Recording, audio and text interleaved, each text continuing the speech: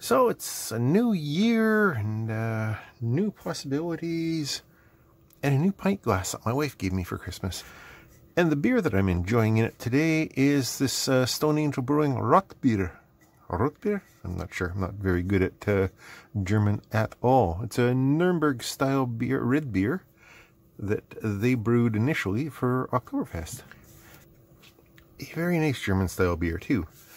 So today, um, oh, earlier I was putting away a bunch of the bounty from December's month of mailbags, and I noticed there's a few modules in my collection that I haven't really spent any time exploring yet. So today I'm going to pull one of them out and do just that. This one is a 16 channel analog multiplexer. So you can see on the left that it has 16 channels labeled channel 0 through channel 15. Um, on the right hand side we have uh, ground and VCC and enable pin uh, S0, 1, 2, and 3. Um, that is a select uh, 4-bit binary uh, input. And we have the signal. Now, a couple of interesting things about this. Um, basically, it well, uh, the first interesting thing I think is that it's bidirectional. So you can put a signal in there and then give it 4-bit binary to select which channel connects to the signal. So you can have a signal coming in here and pick one of 16 outputs, or you can have this as a measurement port and select from one of the 16 inputs and measure it. So the uh, and it is an it calls itself an analog multiplexer, which means it just connects these across. It's not uh, it doesn't care what's there. It can be any analog voltage. It can be a waveform or it could be a, a digital, uh, just one or a zero, high or low. So the chip at the core of this is called the HC4067. Um, and if you go Googling just for the uh, 4067 uh, multiplexer chip, so there's a CMOS version and a TTL version. I think we've got the CMOS one, which is a little bit uh, which is a, has a little bit uh, wider range of voltages. Um, you can run VCC up to 9 volts by the looks of this, which uh, which could be handy in certain applications. So there's the basic functional diagram of it. You got your not enable, so it's enabled when it's low, right? That's what the little bar is there. And then your four bits of control signal, and then the switching over here which connects um, these guys to, or one of these guys to the uh, to the output or input, depending on which way your signals are going. And there's the signal routing logic on the inside. If you, uh, I don't know, if you wanted to make your own, I guess. And there is a quick truth table of what's going on. So with all four bits low, um, channel zero is connected with all four bits high. Channel 15 is connected, and then it just binary counts all the way through there. Very simple. So up earlier, it said it could handle up to 11 volts without getting blown up, but uh, the typical voltages are closer to our Arduino-like levels. Uh, the supply voltage for the um, this is the CMOS one. It can be anywhere between two and five volts. For the TTL one, between four and a half and five volts, which is typical TTL. So here's some charts showing the typical on resistance versus uh, various possible VCCs with the uh, with the signal voltage. So there is a certain amount of resistance. Like I said, if you're if you're using it just to measure uh, voltages with a high uh, impedance source, then that shouldn't be a problem if you're passing signals through it, then you may experience a little bit of loss going through it, depending on the impedance of your uh, of your circuit. Ah, yeah, this is this is useful too. Um, the leakage current is plus or one plus or minus 0.1 microamp, which is approximately nothing.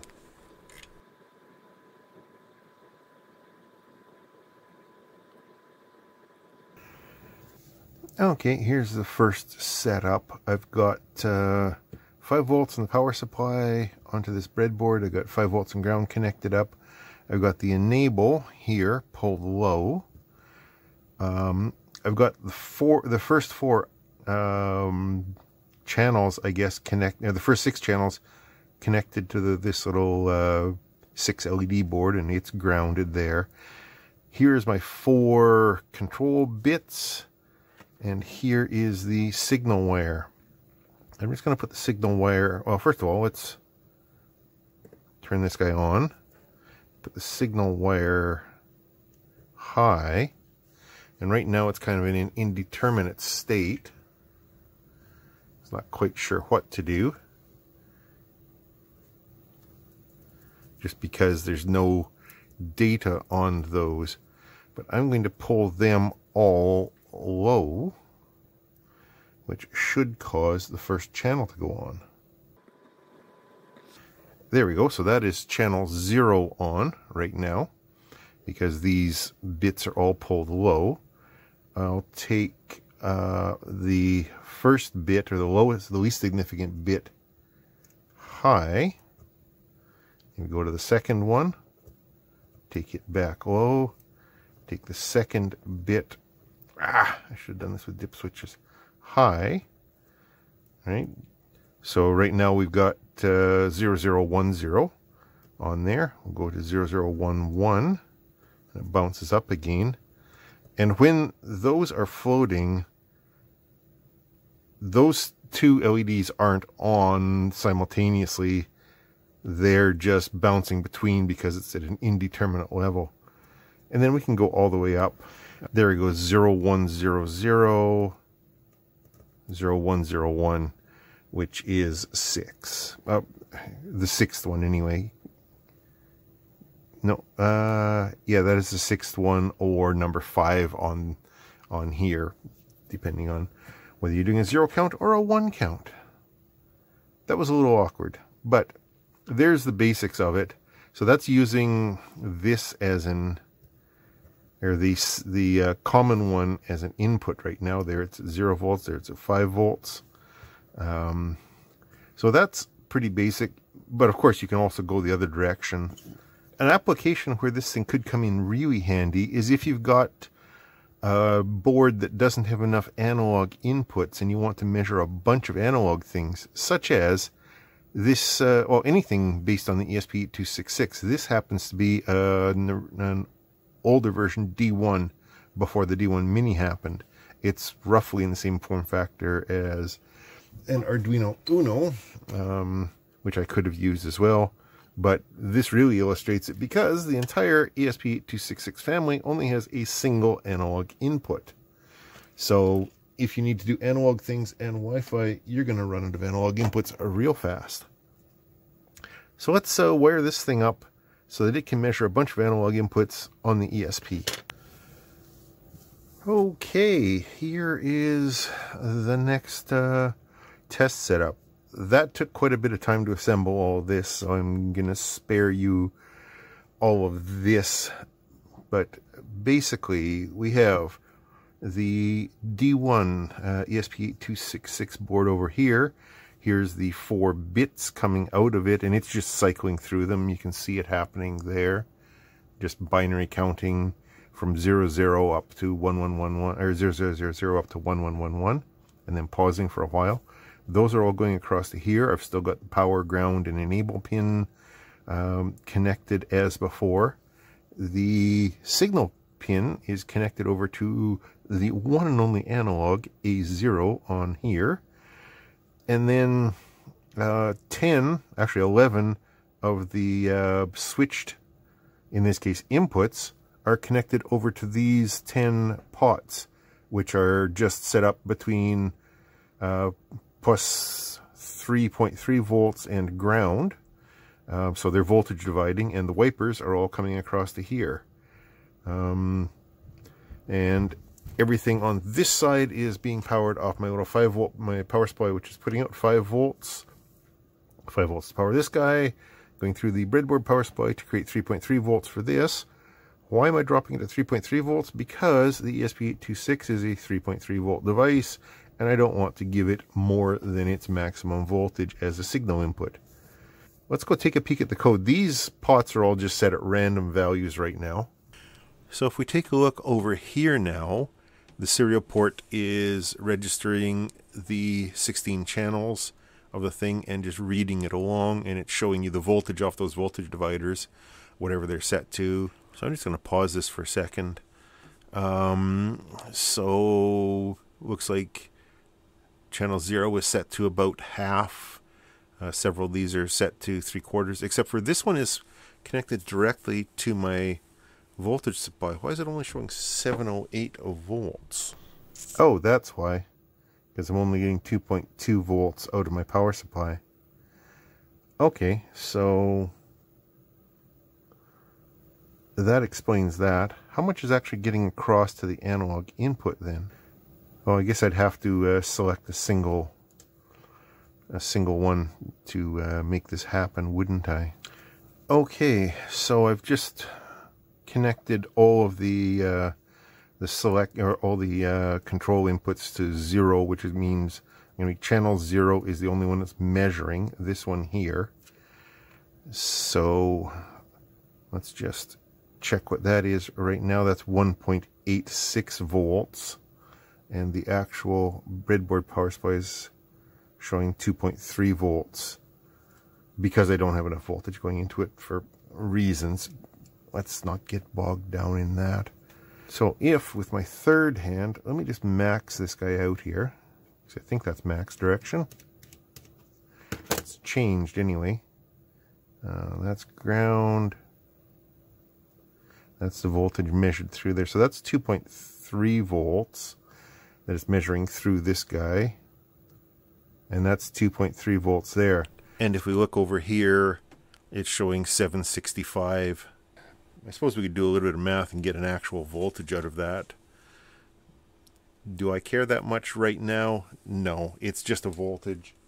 And if I change that pot, so that's just winding it down, winding it down. You actually see it change while it's measuring. And again, because I've got the select pins disconnected right now, this is all just measuring that first pot. Bottom line, it works. It does what it's supposed to do, and I'm happy about that. That's pretty cool. So this little test sketch that I wrote, because I know somebody's going to ask me about it, it's super simple, super ugly. Um, I just threw it together. There's a lot more efficient ways of doing it, but I think this shows it. I basically got my four control bits uh, uh, connected to these digital pins 12, 13, 14, and 15 on the D1, um, set them to outputs, analog 0, the only analog to input, serial monitor because we need it. And then the loop is just this. I write four bits of binary out the hard way. I do a serial print with an analog read in it. I wait. I set the bits to the next one up, and I do it again. And I just do that 16 times and then I delay for three seconds so I can read them, uh, scroll the screen along a little bit, and that's it.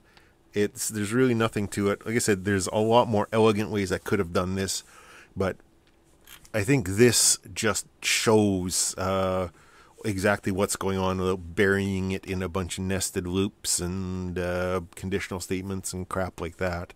Um, just the cheap brute force method. Okay, uh, here is my la- I think my last test setup for for this just to demonstrate it and, and play with it a little bit. So I've got a couple of uh, analog inputs going into the thing now. I have my MP3 player going into uh, channels, the set, the last two channels, 14 and 15, just right and left, or 15 and 16 if you're one counting, whatever.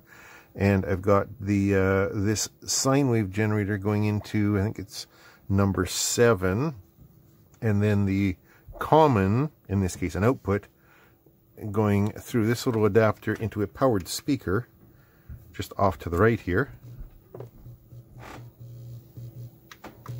You may be able to hear it humming, right? Okay, so when I select uh, channel 16 or 15, uh, the top channel, uh, 1111, I get that. And when I select 0111, I get the tone.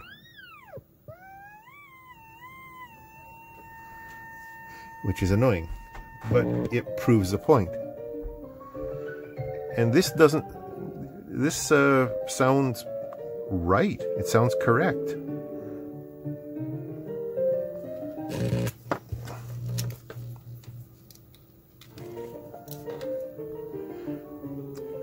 Sounds completely reasonable. Does not really coloring the the sound or anything. So this could be used as an audio input selector. Um, one of these for unbalanced audio, just like this is, or or any other you know, RCA connector based home audio, one per channel. Or if you want to do balanced audio switching, you could use a pair of these um, and essentially make yourself a routing switcher. That might be kind of cool. But I think the application that I'm most likely to use it for, at least initially, is for this one that I showed earlier, reading multiple analog sensors um, into an ESP8266 based device. I mean, if you were using some other small uh, thing like a Digispark or an ATtiny 85 or whatever, uh, you could easily use it for that too, uh, because, well, it's got, I think, what, three or four analog inputs. Um, but if you wanted to read a whole bunch with something tiny and cheap, then again, this would be a pretty good way of doing it. Have you played with one of these things? What kind of uh, stuff have you used it for? Or uh, what do you think I should try and use it for in the future? Um, initially, it's just going to go back into the collection and maybe another month or so, I'll dig through some boards that I haven't looked at and play with something else. Uh, yeah.